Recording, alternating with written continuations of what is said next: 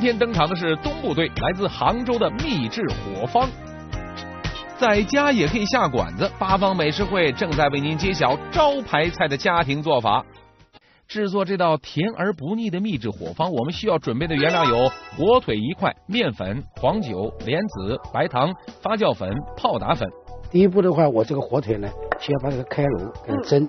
先蒸的时候呢，就是放一个酒给它泼一点，浇一浇。啊我以为对这把酒都得用上了，没有，这个还在后面呢。而且就是这么两小勺就够了哈。对，这个蒸的时候呢，它关键时间要蒸一个半小时，啊，一个半小时，那是小火还是大火呀？大火蒸。大火蒸一个半小时。大火蒸的目的呢，把这个油给它蒸了出来。如何将腌制的火腿做的香嫩不咸、甜而不腻呢？这其中的关键就是火腿的处理啦。朱师傅将会用到一个二去一入的法则。刚刚把火腿大火蒸一个半小时，就是二去一入的一去，去除油分。一个半小时蒸了之后，它就去去油。这个很多人看我们这个汤汁里面有很多这个油，那这个汤汁是不是就不用了？还汤汁呢，等会儿我要再用，现在呢我就我就不说，等会儿告诉你。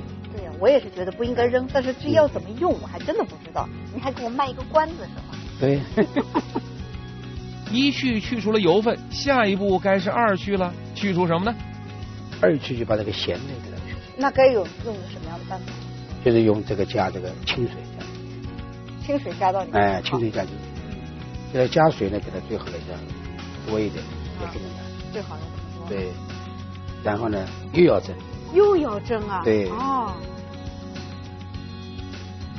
那这一回还是蒸一个半小时吗？一个小时，也是大火。它也是大火。火腿蒸一个小时之后，要取出必去油分，然后加清水再蒸一个小时。朱师傅说了，如果想缩短时间，可以用煮的方法，把火腿用水煮一个小时，把油分和咸味儿都去掉。但是为了口感更好呢，建议您还是采用蒸的方法。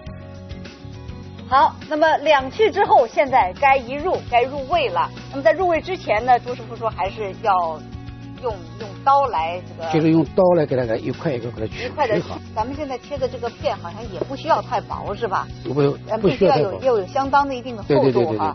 那么在一会儿入味的时候，这也是为入味做准备，是吗？对，比如说我们给它放好，嗯，也要考虑到这个整齐漂亮哈。哎，给它放好，嗯然后呢就加这个黄酒呢，就是一般就是我们是一斤火方加半斤黄酒，半斤糖，稍微的再加上半斤水。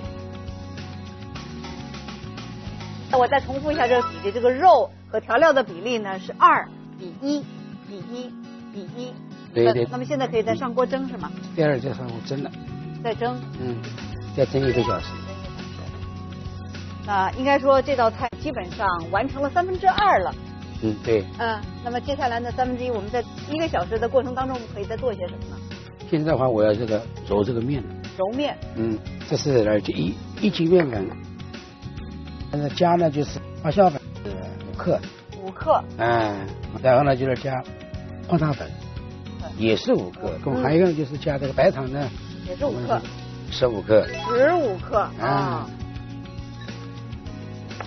好了，先来给它搓搓匀，啊，然后温水，温水。哎，用温温水。这个朱师傅和面的时候也能够见到功底哈，随便的就这么揉几把，倒这么一点水，它就合适了。它跟它这个这个面粉呢，一般呢就跟这个北方的做饺子的这个面粉差，螺丝那个圆的差不多。哦，好，给它醒了，最起码得一个小时。最起码。那现在呢，我就是我用快速的速度醒。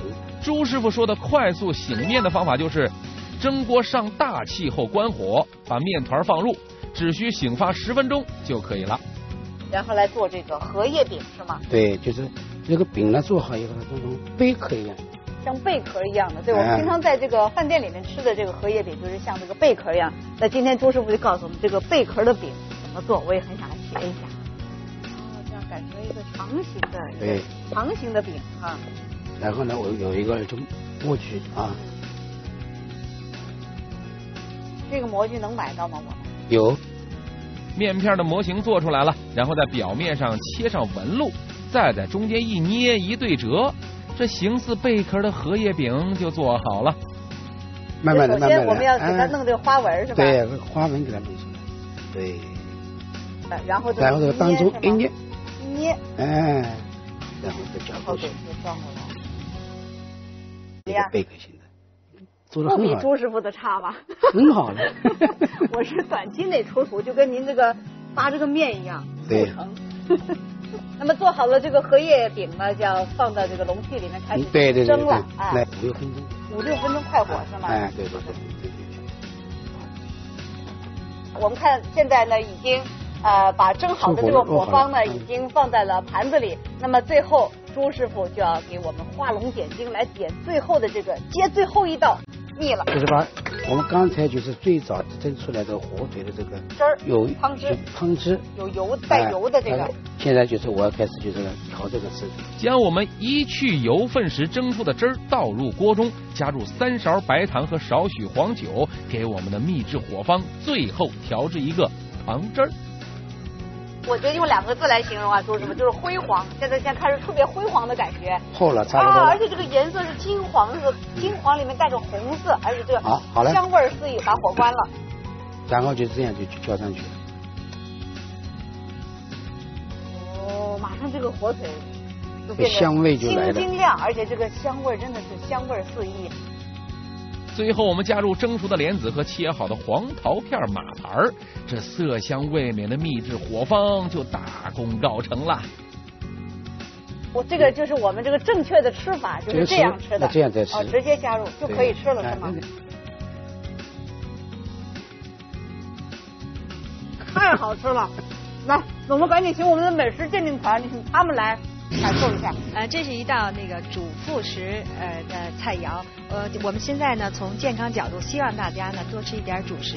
以前吧，我们吃那个火腿的时候，老觉得太咸了，都不敢尝试，也不敢食用。但是知道什么金华火腿和那个宣威火腿都挺好，以后吧，我们在家里面都可以经常用了。看看这道秘制火方能得到几个大拇指吧。好的，谢谢，谢谢，也感谢朱师傅。